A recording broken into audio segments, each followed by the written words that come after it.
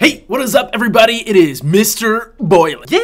Today, in this video, we are going to explain the process of oxidation and reduction in a chemical reaction. Okay, so let's break it down a little bit. First thing we are going to do, we are going to determine the oxidation state for an atom in any element, ion, or compound. Numero dos. We are going to identify the species being oxidized or reduced in a redox reaction. Numero three. We are going to write the oxidation or reduction half reaction given the complete balanced redox reaction. Woo! Okay, this video sounds like it's gonna be really difficult because these two new terms, oxidation, reduction. Those two terms are, once you define them, pretty easy things. So let's get started. Yes! Let me introduce you to my good friend Leo and what Leo says is...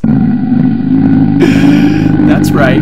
If you can get to know Leo and understand what Leo says, this unit is gonna be a breeze. So you get to make a new friend this unit and his name is Leo. You and Leo can just grrr back and forth at one another and have a great time. Okay, so to start this unit, we need to recognize that many chemical reactions involve the transfer of electrons between atoms or ions. Reactions where electrons are transferred from one atom to another are called oxidation reduction reactions. They are also known as redox reactions for short. Now, that sounds really scary. Oxidation and reduction, scary sounding words, but really, what we mean is if something is oxidized, that it is losing electrons. Conversely, if something is reduced, we say that it has gained electrons. So these really scary terms, Oxidation, reduction. they just mean are you losing electrons or are you gaining electrons? Hence, Leo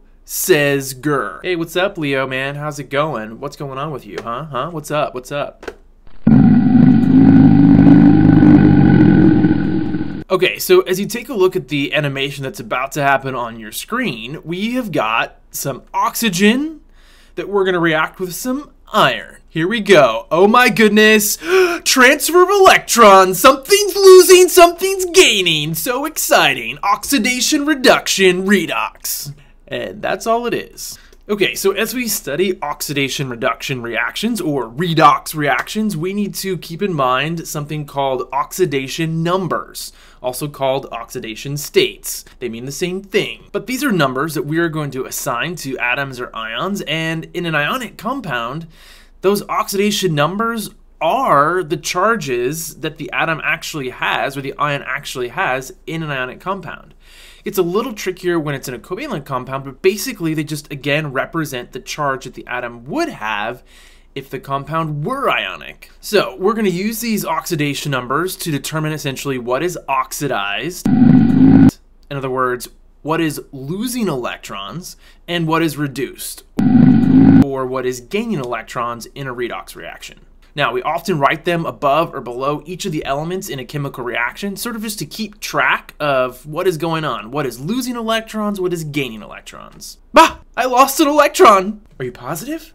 oh man. Okay, now there are some rules that we have to follow when assigning oxidation numbers, um, and we're going to follow these rules in order of priority.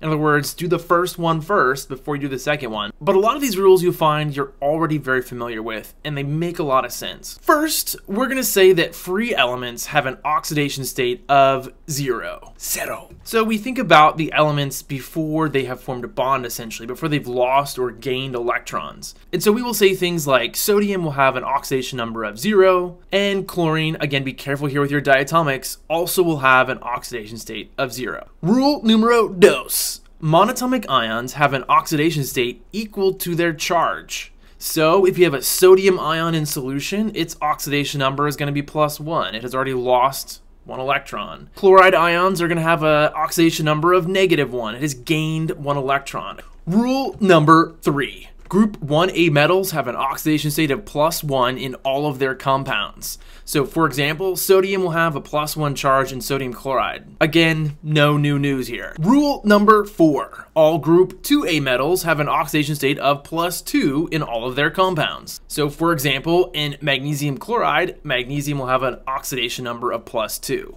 Again, none of this should be new. Periodic table! Rule number five. When we start working with compounds, then, non-metals will have oxidation states according to the following table. Uh, and again, non-metals higher on this table that we're about to see will take priority. And you've got this table in your notes, so be sure to reference it.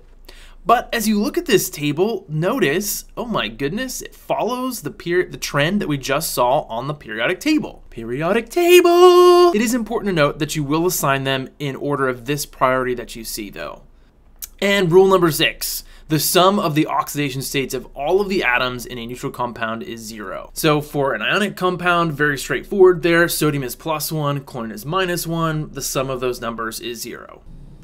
And rule number seven, the sum of all the oxidation states or oxidation numbers of the atoms in a polyatomic ion equals the charge on that ion. Now, here's where you may begin to feel a little uncomfortable about the newness of oxidation numbers and why, for example, we're assigning the oxidation number of nitrogen a positive five here. Oxygen seems pretty straightforward, negative 2, but why nitrogen positive 5? It comes back to that table of priority. Boom! You use this from top to bottom. So we will assign the negative 2 oxidation state to oxygen first, and since we have three oxygens all with a negative 2 oxidation state, the nitrogen must have an oxidation state of plus 5, so that the sum of plus 5 and 3 times negative 2 is negative 1, which is the charge of our ion. And if you are freaking out, don't. We'll do a little bit of practice in another video. Okay, so how are you going to tell whether or not a reaction is a redox reaction? How are you going to tell whether something has lost electrons or gained electrons? Well, you simply have to write the oxidation number for each of the elements in the reaction using the rules that we just outlined. If a substance has been oxidized or lost electrons, its oxidation number will become more positive. All right, so let's go back to this thriller of an animation. Initially, my iron, which is an element, will have an oxidation state of zero. Oxygen, also in its elemental state, will have an oxidation number of zero. But then the magic happens. Reaction.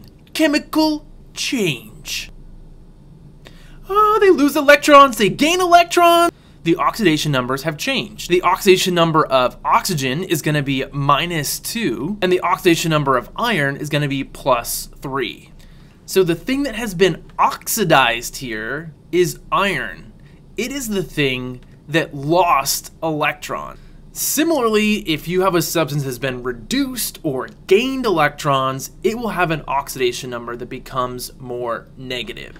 Okay, and then just the last couple of things here. Often you will be asked to identify the half reactions to more clearly illustrate the process of oxidation and reduction. And in those half reactions, you will see electrons being either gained or lost, and we will write them using the symbol with the little e with a little superscript of the negative. So for example, as you take a look at your notes, as you take a look at the screen in front of you there, we've got a redox reaction where something is losing electrons, oxidized, something gains electrons, reduced. So the oxidation half reaction here is going to focus on just the thing that is losing electrons. So you'll see zinc forming the zinc ion and two electrons that it lost. The reduction half reaction, on the other hand, is going to show the iron ion gaining two electrons to form solid iron. Notice with the half reactions that you'll see in the oxidation half reaction, the electrons on the product side. With the reduction half reaction, you'll see those electrons on the reactant side. And then lastly, keep in mind that these two things have to happen simultaneously at the same time. In order for one atom to gain electrons, something else must have lost them. And so, to say goodbye, here comes Leo.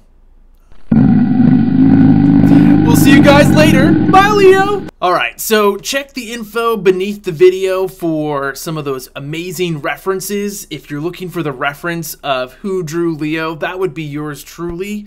Uh, I am a pretty talented artist.